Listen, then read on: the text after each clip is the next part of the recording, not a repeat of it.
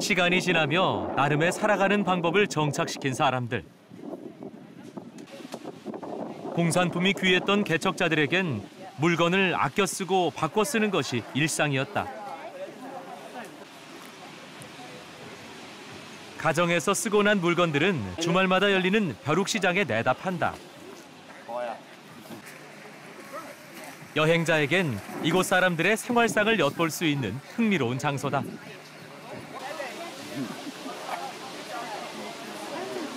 최근엔 생필품뿐 아니라 예술가들의 작품도 볼 수 있다.